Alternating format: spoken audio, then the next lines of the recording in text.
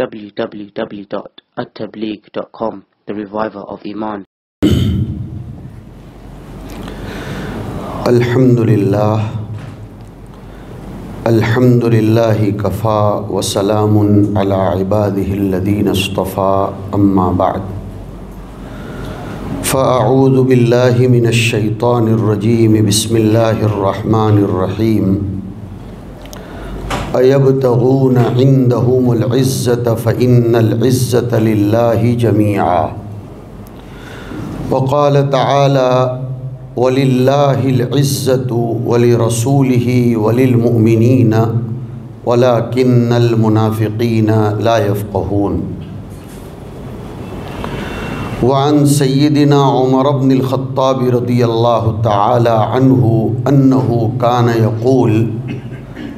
नहनु कौमन अज़नल्लाहु बिलइस्लाम सदक़ल्लाहु मौलानज़ीम व सदक सैदना खलीफ़तुलमिन रज़ी अल्लाह तन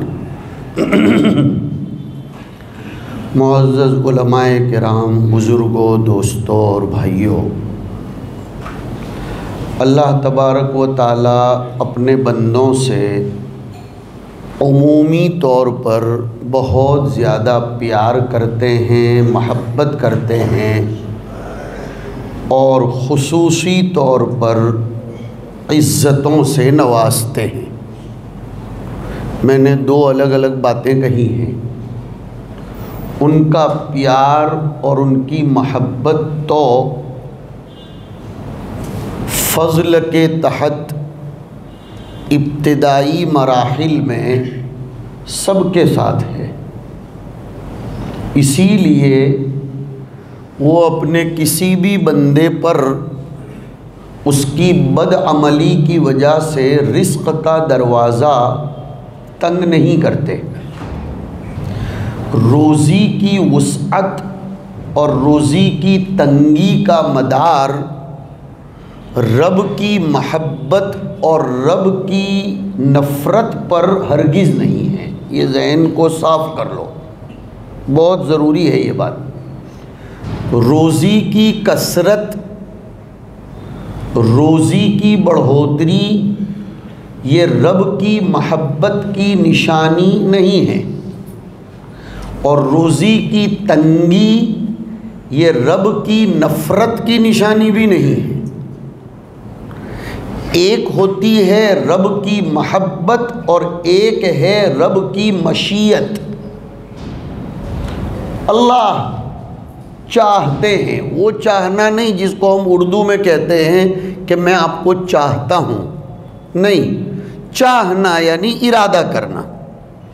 अल्लाह ने इसको क्लियर किया है। इन रब का यब लिमई यशा हो लिमई युहिब्बु नहीं है, वयकदिर। खुदा जिसके लिए चाहते हैं, जिसको नहीं, जिसके लिए चाहते हैं, रोज़ी का दस्तरखान वसी कर देते हैं। और जिसके लिए नहीं चाहते हैं, उसके ऊपर रोज़ी का दस्तरखान तंग कर देते हैं।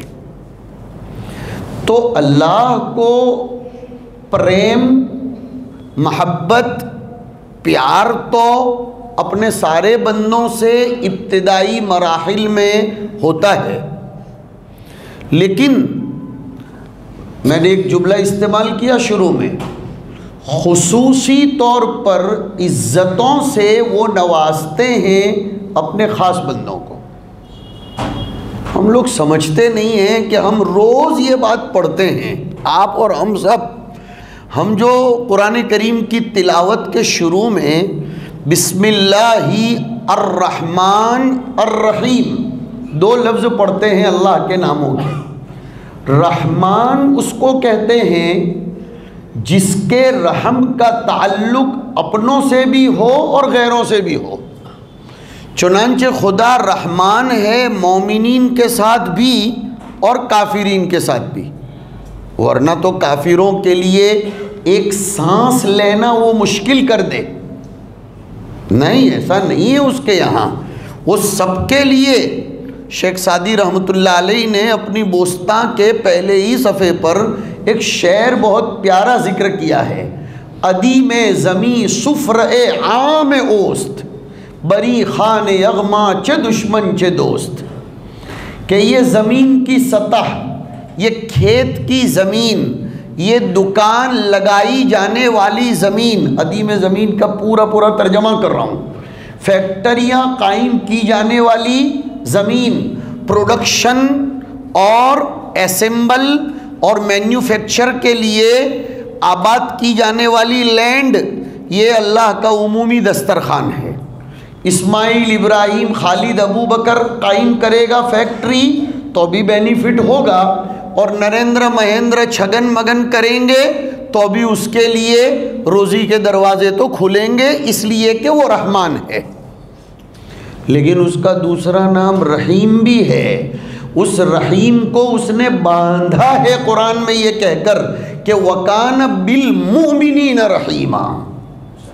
कि रहीम का ताल्लुक वो सिर्फ़ मोमिनीन के साथ है, और नबी के बारे में भी कह दिया गया कि लक़द जाअकुम रसूल मिन अनफुसिकुम, अजीज़ुन अलैहि मा अनित्तुम हरीसुन अलैकुम। ये सब सिफतें आम हैं मुफसरीन ने फरमाया।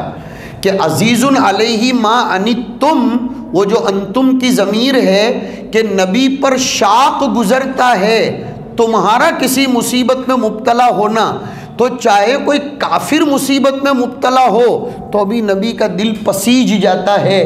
मोमिन मुसीबत में मुबतला हो तो भी नबी के दिल को तकलीफ़ होती है। क्या दुनिया ह्यूमन राइट्स बताएगी? शरीयत ने तो एनिमल राइट्स भी बताए हैं। चूटियों के भी हकूक़ बयान किए हाँ हाँ चूटियों के हकूक़। अबू दाऊद की किताबुल अदब में अखीर अखीर में एक रिवायत आई है कि एक नबी चूटियों के शहर के पास से गुज़र रहे थे। मर्र नबीन बिकरियतिन मिनन्नमल चुनानचे उन्होंने आराम करने के लिए, सुस्ताने के लिए वहाँ क़याम किया तो एक चूटी ने उन्हें डस लिया।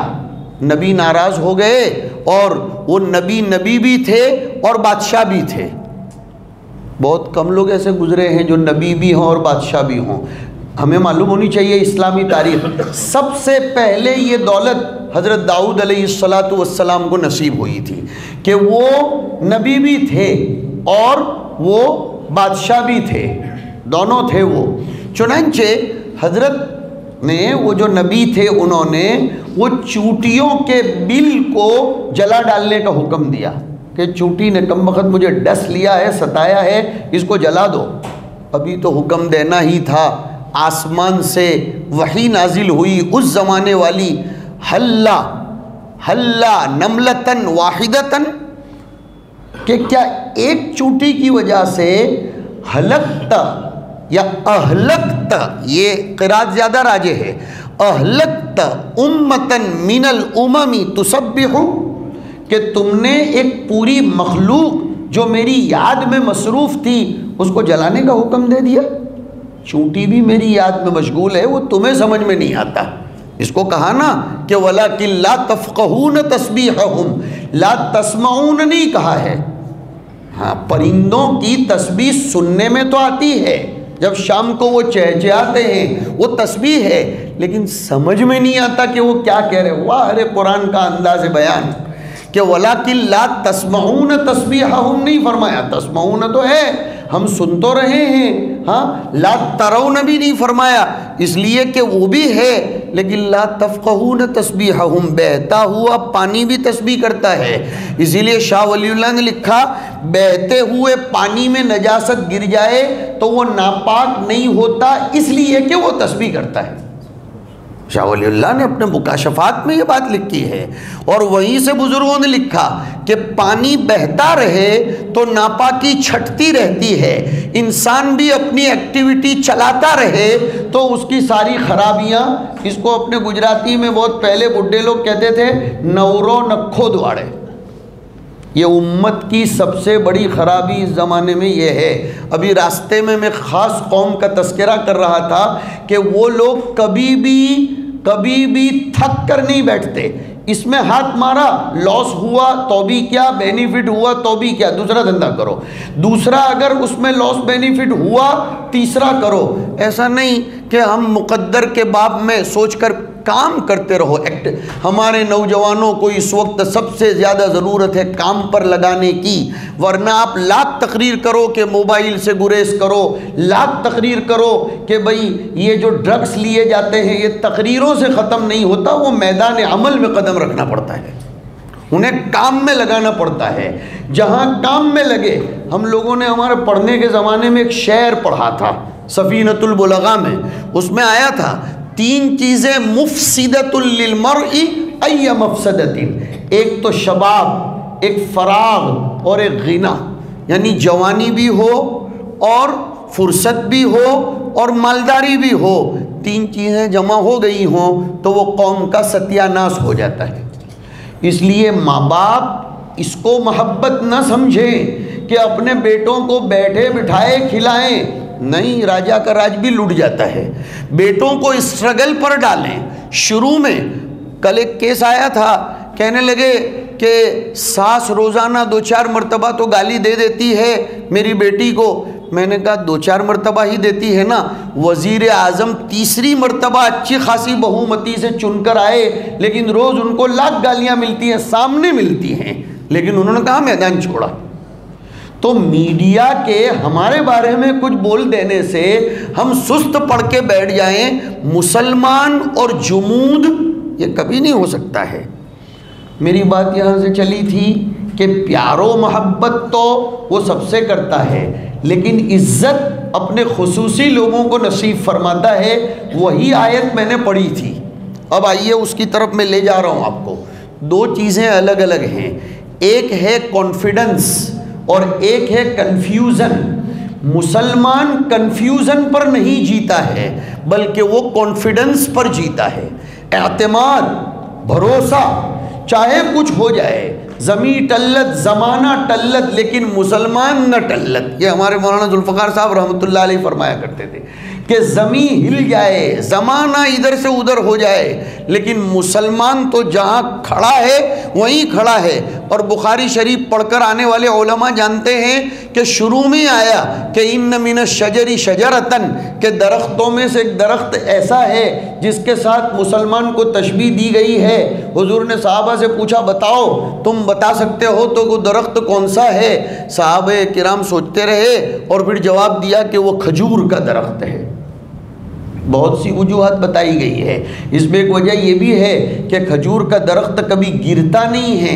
एक वजह यह भी बयान की गई कि खजूर के दरख्तों को गिरा दिया जाए तो भी उसमें कोई ना कोई फ़ायदा होता है। ये नहीं कि वो काम का नहीं रहता। खजूर कसीरमनाफ़ भी है और उसके बहुत से अगराज व मकासद हैं। मुसलमान ऐसा होना चाहिए। अब मैं इस आयत पर आपको लेकर चल रहा हूँ। मुसलमान इस ज़माने में कन्फ्यूज़न में मुबतला है। बहुत बड़ी मुसीबत है। होपफुल होकर ज़िंदगी गुजारिए होपलेस होकर ज़िंदगी मत गुजारिए दो लफ्ज़ ऐसे अल्फाज इस्तेमाल कर रहा हूँ जो आपको जल्दी जल्दी समझ में आ जाए। होपफुल यानी उम्मीद भरी ज़िंदगी गुजारिए उम्मीद से खाली होकर शिकस्तगी अज़म हौसले की कमी और मंजिल नज़र नहीं आ रही है। ये मुसलमान की ज़बान पर कभी भी नहीं होता है। मुसलमान को तो अल्लाह ने मंजिल मुतन करके पैदा किया है। चुनानचे उस ज़माने में, यानी नबी सलाम के ज़माने में मुनाफिकीन थे जो कन्फ्यूज़न की ज़िंदगी गुजार रहे थे। मैंने बोला था ना कॉन्फिडेंस और कन्फ्यूज़न समझो बात को, पूरी बात। कन्फ्यूज़न में ज़िंदगी गुजार रहे थे कि यार, ये नबी का साथ देना चाहिए या यहूद और काफिरों का साथ देना चाहिए। अभी ऐसा लग तो रहा है कि नबी का सूरज चमक रहा है, लेकिन इसका क्या भरोसा? चांदनी चार दिन की भी हो सकती है, फिर तो वही हो। इसलिए कभी उधर जाते थे, कभी इधर आते थे। वहीदा लकुल्लदीना आमनु, कालू आमन्ना। वहीदा खलऊ इला शयातीन कालू इन्ना महकुम। जब उधर जाते थे तो कहते थे, बल्कि हदीस में उसकी एक भद्दी मिसाल दी गई है, मिसाल भद्दी है, लेकिन मिसाल देने वाले बहुत ज़बरदस्त पैगंबर थे कि मसलमुनाफिकी कशातिल आयरती बैनल गनमैन। कि वो बकरी जो इधर उधर का दिमाग रखती है, उसको समझ में नहीं आता कि किस तरफ़ अपना रुख करना। तलबा की जमात होती तो उसका कुछ तर्जमा करता। लेकिन ऐसी बकरी कि जिसको समझ में नहीं आ रहा है कि किस तरफ़ मुझे अपना रुख करना चाहिए, बस ऐसा मुनाफिक का हाल होता है। बहुत माफ़ करेंगे।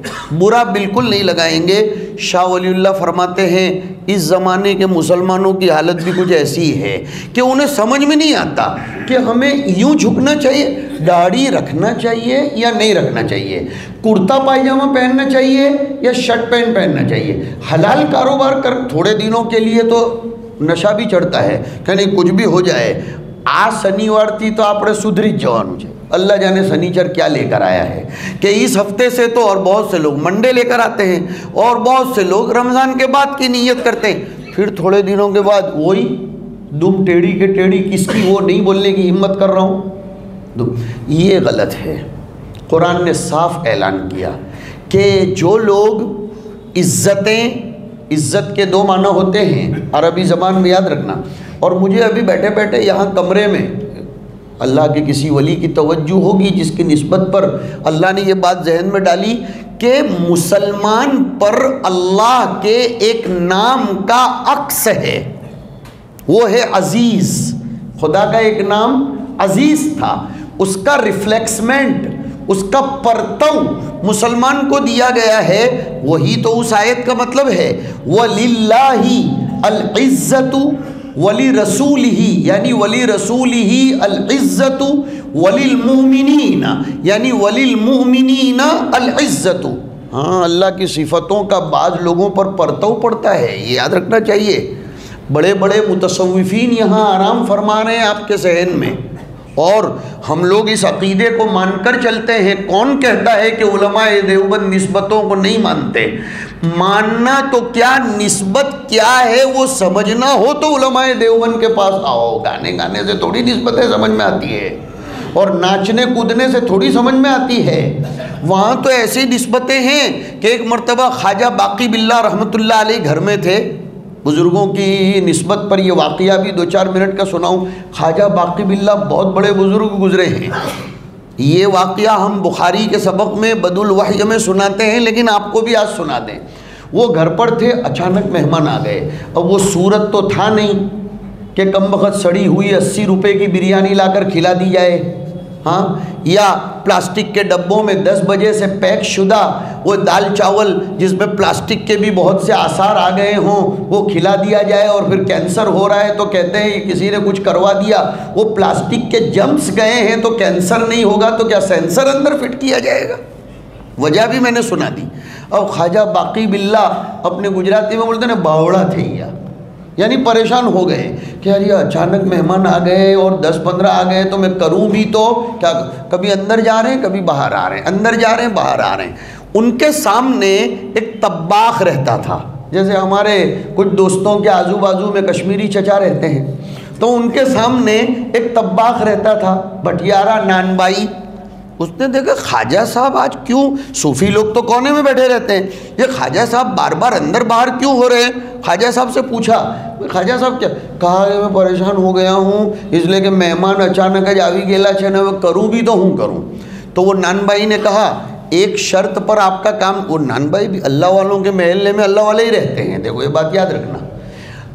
हमारे इमाम अबू हनीफा रहमतुल्लाह अलैह ने एक मरतबा मकान बेचने निकाला। तो मार्केट में वैल्यू निकला कि इस महल्ले में छः हज़ार दिरहम की वैल्यू है। तो वो जो एजेंट था ना, जो मकान के दाम लगाते हैं, उसने तय किया बारह हज़ार दिरहम। तो वो ख़रीदने वाला बोला, ये तो कोई बात है यार, मार्केट वैल्यू तो कहा हाँ मार्केट वैल्यू छः हज़ार है, लेकिन पड़ोस में इमाम अबू हनीफा रहते हैं, इसलिए छः हज़ार का दाम बढ़ गया। जिसको हम लोग अपनी किताबों में यूँ पढ़ते हैं कि मुजाफ इलई की ताकत मुजाफ में भी आ जाती है। किताब किताब किताब कोई भी किताब है, लेकिन किताबुल्लाह, और ताकत बढ़ गई अब उसकी, है ना? ग़ुलाम ग़ुलाम ग़ुलाम कोई भी ग़ुलाम है, लेकिन अल्लाह वाले का ग़ुलाम तो उसकी तो कीमत बढ़ गई तो इंसान इंसान, सब इंसान है, लेकिन अल्लाह वाला इंसान तो उसका तो काम हो गया। तो वो नान भाई बहुत होशियार था, उसने कहा, मैं आपका सारा काम बना दूँगा, आधे घंटे में पूरा का पूरा आपको देख बना के दूँगा, शर्त एक है आपके जैसा मुझे बना दो। शर्त भी बड़ी कड़ी थी, लेकिन अल्लाह वालों पर भी कभी कभी हाल होता है। हाँ। हज़रत ने नज़र डाली और वाक़ता तसरुफ़ किया, खुदा की इनायत के नतीजे में शिरक से बचते हुए ये जुमला इस्तेमाल कर रहा हूँ। खुदा ने जो ताकत दी थी, उस ताकत का इस्तेमाल फरमाया तवज्जो डाली। वाक़ता वो नानबाई ऐसा हो गया कि महल्ले वाले पहचानते नहीं थे कि ख्वाजा बाकी बिल्ला ये है या ख्वाजा बाकी बिल्ला ये है। ये तवज्जो की बरक़ात होती है। तो अल्लाह तबारक व ताली के नामों में एक नाम अज़ीज़ है। उसका परतव उसने मुसलमानों पर डाला कि मुसलमानों को इज़्ज़त नसीब फरमाई। खाना पीना सबको हासिल है। हुकूमतें बहुत सौ को हासिल हैं, लेकिन याद रख लो और आज कुरान का ऐलान सुनो, मैं नहीं कह रहा हूँ, इज़्ज़त तो दुनिया में मौकूफ़ है, ईमान पर ही। रात में तलबा को समझा रहा था कि एक है इज़्ज़त और एक है असर इज़्ज़त अरबी में असर कहते हैं, जाने के बाद जो निशान पड़ जाए, उसको असर कहते हैं। बात समझोगे तो बहुत दिमाग क्लियर हो जाएगा। यहाँ से एक जानवर गुजरा, वो गुजर गया, लेकिन उसके पैरों के निशान जाने के बाद भी तो बाकी हैं। इसीलिए नक्शे कदम को अरबी में असर कहा जाता है। आसार कहा जाता है, फ़रतद्दा अला आसार हीमा कससा। जो सूर्य कहब में अपन हर जुमा को खुदा करे के पढ़ते हों तो असर, वो जो निशान छूट जाता है। इज़्ज़त, असल इज़्ज़त जो है, वो असर इज़्ज़त का नाम एक बड़ा मसला हल करता चलूँ कि यहूद के बाब में कुरान ने पहले पारे के सातवें रुकू की आखिरी आयत के आखिरी टुकू, टुकड़े में फरमाया, वदूरिबत अलहिम अजिल्लतु वलमस्कनतु. जिल्लत अपोजिट है इज़्ज़त का। अरे भाई, इज़्ज़त का मुकाबिल कौन? जिल्लत। अब कुरान कह रहा है कि हमने तो बनी इसराइल के ऊपर जिल्लत थोप दी और वाक़ हाल तो कुछ और बता रहा है। हम तो देख रहे हैं गुजश्ता सितंबर से अब तक जंग जारी है फ़लस्तीन की। तो ये तो उनकी इज़्ज़त ही हुई ना। हमारे दिमाग में यह आ रहा है कि बनी इसराइल को अगर ज़िल्लत होती तो ये जंग इतनी और ये तो कंटिन्यू जंग चल रही है। वरना हम जब तरकेसर में पढ़ते थे एटीज़ की बात कर रहा हूँ तब से सुन रहे हैं कि फ़लस्तीन और इसराइल के दरमियान की जंग जारी है। तो ये, तो ये अब हम ज़रा उसको दूसरे पहलू से देखेंगे। इज़्ज़त वाला किसी चीज़ को हासिल करने में इतनी देर भी नहीं लगाता है। जवाब आ गया, खुदा करे समझ में आया हो। जिसको इज़्ज़त होती है ना, वो किसी चीज़ को हासिल करने में इतनी इतनी दहाइयाँ नहीं गुजारता है। और चैलेंज करके कह रहा हूँ, सदियाँ बीत जाएँगी, लेकिन इसराइल को गलबा तो होने वाला है ही नहीं। इससे ज़्यादा ज़िल्लत क्या होगी? इससे ज़्यादा ज़िल्लत क्या होगी? इससे ज़्यादा ज़िल्लत क्या होगी कि एक जीम के पेट में नुक्ते के बराबर जो छोटी सी हुकूमत है फ़लस्तीन की, उसको ख़त्म करने के लिए पूरी दुनियाए नसरानियत और कुछ कुछ दुनियाए अरब भी अपनी जागीरदारी बचाने के चक्कर में, दफ़े दखल मुकद्दर कर रहा हूँ कि अपनी जागीरदारी बचाने के चक्कर में सारी ताकतें लगी हुई हैं। लेकिन मजाल है कि फ़लस्तीन के बच्चे अपनी शिकस्त कबूल करें, का एक गया तो दूसरा भी जाए, दूसरा गया तो तीसरा भी जाए, इसमें हमार, कुल हल तरब बसू नबीना इल्ला एहदल मुनाफिकीन के मुकाबले में मुसलमानों को ये कहा गया है कि तुम हमारे बारे में क्या इंतज़ार करोगे? हम तो मरेंगे तो भी हमारी फतह है। हम तो जिएँगे तो भी। व नहन तरबसु भी गुम हम तुम्हारे बारे में इंतज़ार कर रहे हैं कि तुम्हारा अशर छोटे छोटे फ़लस्तीनी बच्चे एक एक पत्थर के ज़रिए उनका मुकाबला कर रहे हैं। उससे बढ़कर हमें फ़लस्तीनी बच्चों की इज़्ज़त क्या चाहिए? अब मैं आपको समझाऊँगा दोनों के दरमियान फ़र्क, जो एक लफ्ज़ मैंने इस्तेमाल किया, इज़्ज़त और असर इज़्ज़त का। थोड़ी सी हँसी भी आएगी, लेकिन मसला समझ में आ जाएगा। कोई आरटीओ वाले ने अपने को रोड पे रोका, वो उधर दूर खड़ा है, और यहाँ से अपन गाड़ी लेके जा रहे हैं, उसने रोका। सबसे पहले नॉन वेज गाड़ी घबराएँगे कि नहीं अपन? समझ रहे हो ना? नॉन वेज का मतलब कि एकदम हम ऐसी खतरनाक गाली बोल देते हैं, ऐसा और वैसा, ने हवे हारा है पकड़े लो, जो खबर नहीं, हूँ तय ने, एनु, एम, ने, एनु, एम। ऐसा सब घबराएँगे। लेकिन जैसे जैसे उसके करीब गाड़ी पहुंचेगी, जी सर बोलिए जी सर, कैसे हो सर? Good morning sir. ये क्या हो रहा है? अभी तो आप गाली बोल रहे थे। और अब जब सर ने आपको विंडो तो वो बोल रहे हैं, सर, हालाँकि बोल रहे हैं जो साहिब शर हैं कि बैठे रहिए, बैठ तो भी आप नीचे उतर दे सर, आइए ना सर नाश्ता पानी करेंगे। ये सब क्या हो रहा है? हाँ अच्छा साहब, आपने डॉक्यूमेंट्स चेक करवा दिए इंश्योरेंस और ये और वो। अब उसके बाद सर ने कुछ लिया, दिया, जो हुआ, नहीं हुआ, अब और जाते हुए भी दस कदम आगे बढ़ने के बाद दोबारा नॉन वेजिटेरियन घबराते हैं आप। घबराते हैं ना? पता चला इज़्ज़त तो थी, असर इज़्ज़त नहीं था। इज़्ज़त तो थी, असर इज़्ज़त नहीं था। अल्लाह वाले को इसके कंपेयर में लाइए कोई अल्लाह वाले को दूर से आता हुआ देखा, कितनी खुशनसीबी होगी अगर ये अल्लाह वाला मुझ पर एक नज़र डाल देगा। हाँ? और ज़रा करीब आया तो कहेंगे, हज़रत, हमारे घर पर थोड़ी देर के लिए सिर्फ़ कदम रख दीजिए और हमारे यहाँ महाराष्ट्र में बोलते हैं, निस्ता पानी पी लीजिए। या निस्ते निस्ते यानी सिर्फ़ कदम ही रख दीजिए, हमारे लिए खुशबख्ती हो जाएगी। और जब वो अल्लाह वाले जाते हैं तो आँखों में से चाहो न चाहो आँसू बहने लगते और आदमी थोड़ी देर के लिए ऐसा ऐसा कि मैं क्या पेश करूँ, क्या पेश न करूँ, जो कुछ है सब लुटा दूँ। हज़रत मानवी रहमतुल्लाह से किसी ने पूछा था कि आपके पास कितने घर हैं? का मुझे मालूम ही नहीं है, इतने घर हैं और हर मुल्क में घर है। गाड़ियाँ कितनी हैं? का गाड़ियाँ रोड पर चलने वाली हर गाड़ी मेरे नाम पर तो शोरूम में से निकली। तो वो सामने वाला आदमी कहने लगा, यार, हज़रत ऐसा कैसे कह रहे हैं? हज़रत फरमा समझना है, आओ हाथ पकड़ो। रोड पर जा रहे थे। जो गाड़ी वाला चाह रहा था, कह रहा था बाबा हमारी गाड़ी में बैठ जाओ। हज़रत को उनके इलाके में लोग बाबा बोलते थे।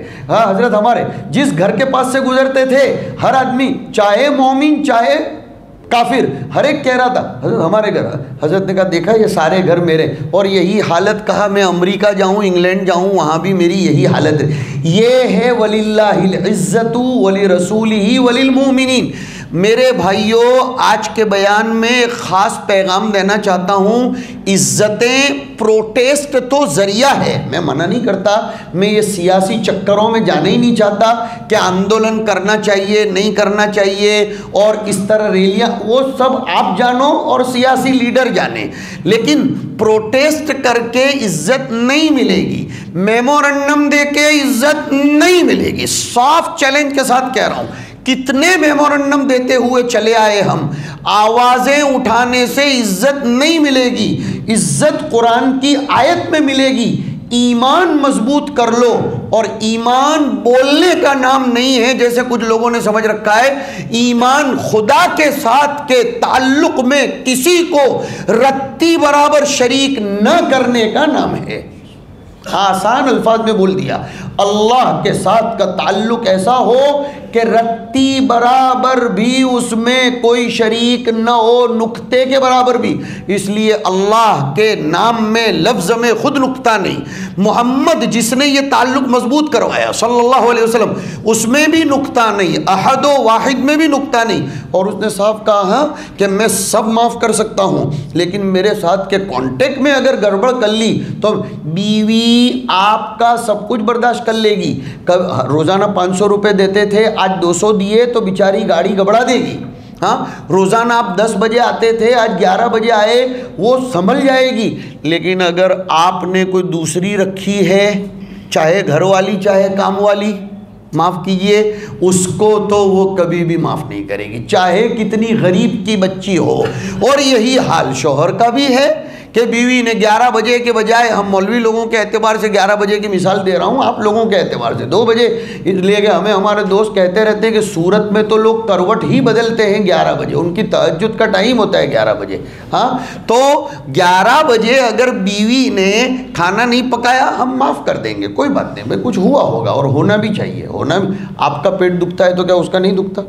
आप कभी भाई, मैं कहा करता हूँ, मर्द को भी तो अपने माँ बाप याद आते हैं ना? तो बीवी अगर कभी मुडलेस हो जाए और कहे कि आज मुझे मेरी माँ और मेरे बाप याद आ रहे हैं तो हाँ ना, बड़ी तने तारा माँ बाप याद आवे। ये तो कोई जवाब है? ये कोई जवाब है?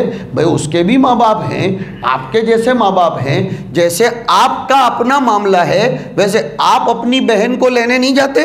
वैकेशन के मौके पर कि मेरी बहन भाई बहनों के साथ रहेगी तो आपकी बीवी का भी तकाजा है। हज़रत थानवी ने तो यहाँ तक फरमाया कि सब लोग सुन लो, सूरत वालों खूब सुन लो, हज़रत थानवी के नाम से तो हम रोटियाँ खाते हैं, लिहाजा सुन लो। हज़रत थानवी ने फरमाया, रोज़ाना बीवी को खर्चे पानी के साथ कुछ पैसा ऐसा एक्स्ट्रा दो कि उसका हिसाब भी मत मांगो। इसलिए कि तुम अपनी बहन के घर जाते हो तो तुम चाहते हो कि मैं हमारा भाणेज माटे कई ले जाऊँ, हमारा भतीजा माटे कई ले जाऊँ तो तुम्हारी बीवी भी चाहती होगी। मेरे भी भाई के बच्चे हैं जो मुझको फुफ्फी बोलते हैं। मेरी बहन के बच्चे हैं जो मुझको खाला बोलते हैं। इस तरीके से समाज में, मुआशरे में मोहब्बत पैदा होती है। बात यह चल रही थी कि अल्लाह ने हमको इज्जतदार बनाकर पैदा किया है। कन्फ्यूज़न में काहे को मुबतला होते हो? ये इज़्ज़त कहाँ मिलेगी? अयब जमिया वक्त बहुत कम रह गया, मजमून लंबा है, लेकिन दो चार बातें कह दूँ। इबन खलदून की बात इस सिलसिले में बहुत बड़े फ़िलोसोफ़र गुजरे हैं इस्लाम के, जिनकी किताब का अंग्रेज़ी ट्रांसलेशन करके ऑक्सफोर्ड में पढ़ाया जाता है। खूब पढ़ते हैं वहाँ स्टूडेंट्स यूरोप के, वो लिखते हैं कि दूसरी कौमों की तहजीब को अपनाना दूसरी कौमों की सकाफ़त को और कल्चर को अपनाना, ये अपनाने वाले का दर पर्दा ग़ुलामी का एतराफ़ और एहसास कमतरी है। ये मतन मतन अब खोलने के लिए तो बहुत वक्त चाहिए कि जो लोग दूसरों के कल्चर को अपनाते हैं, गोया वो ज़बान हाल से ये कहते हैं, हमारे पास कोई कल्चर नहीं है, हम इसलिए क्या हम लोग ऐसे हैं कि हमारे पास कल्चर नहीं है? दुनिया को सकाफ़त देने वाले तो हम हैं, दुनिया को कल्चर देने वाले तो हम हैं, और हमारे कल्चर में तो खूबसूरती ही खूबसूरती है। कुरान ने कहा उस उसवतुन हसनतुन, लेकिन ये हुस्न उसी को नज़र आएगा। लिमन कान यरजुल्लाह वल यौमल आखिर व ज़कर अल्लाह कसीरा। वरना तो ऐसा होता है कि किसी भंगन पर भी दिल लग जाए तो क्या करेंगे? समझाने वाले खूब समझाएँगे, लेकिन उसकी आँखें बिगड़ गई तो हम क्या करेंगे? कहते हैं ना, जिसकी आँख में पीलिया हो उसको सफ़ेद भी पीला नज़र आता है। तो हुस्न, खूबसूरती अट्रैक्शन इज़्ज़त, गलबा ये तो सब इस्लामी तौर तरीक़ को अपनाने में है। हज़रत उमर का कौल मैंने सुनाया था। मौलाना अली मियाँ फरमाया करते थे, अबुल हसन नदवी साहब रहमतुल्लाह अलैह, कि हर मुसलमान के घर में घर में वो कौल लिखा हुआ होना चाहिए, नहनु अल्लाह इस्लाम। हम ऐसी कौम हैं कि जिन्हें अल्लाह ने गलबा इस्लाम के सदक़े तोफ़ैल नसीब फरमाए तो गलबा सियासत के बलबूते पर मिल तो सकता है, जबकि हम सियासत को ज़रिया समझें। मकसद हमारा वो हो जो अट्ठारहवें पारे में आया कि अल्लदीन इम मक्कन्ना फिल अर्द तो अब जजा आई और हमारे यहाँ किताबों में पढ़ाया जाता है कि जुमले रईसिया तो जजा होता है, शर्त तो एक ज़रिया होती है कि अगर दुनिया में गलबा मिले तो मकसद अकामसलात व आतज़क़ात व अमरू बिलमारूफ व नहो अनिल मुनकर, ये सब होना चाहिए। ये कुरान की आयत कह रही है, लिहाजा हमें आज ये ठानना है कि हम हमारी सारी ज़िंदगी के हर गोशे में इस्लाम के तौर और तरीक़ को अपनाएँगे। और मैंने कहा था इज़्ज़त के दो माने हैं। एक तो इज़्ज़त का माना गलबा और एक इज़्ज़त का माना महबूब होना। प्यारा अज़ीज़ को दोनों मानों में इस्तेमाल किया जाता है। अपने उर्दू में बोलते हैं, अज़ीज़म, अज़ीज़ुल कदर, ये तो मेरे बहुत अज़ीज़ हैं, यानी मेरे बहुत प्यारे हैं। और एक अज़ीज़ का माना गालिब उलमा ने लिखा, गलबा चाहते हो तो भी खुदा के तौर तरीक़ में मिलेगा। और दुनिया की आँखों में अपनी महब्बत बसा देने चाहते हो तो भी खुदा के तौर तरीक़ को अपनाने में मिलेगा। खुदा करे, ये चीज़ें हमारे दिलो दिमाग में उतर जाएँ और फिर हम उस पर अमल पैरा हों। वसल्ला वसलम नबीना मौलाना मोहम्मद वाली व असहाबी अजमाइन।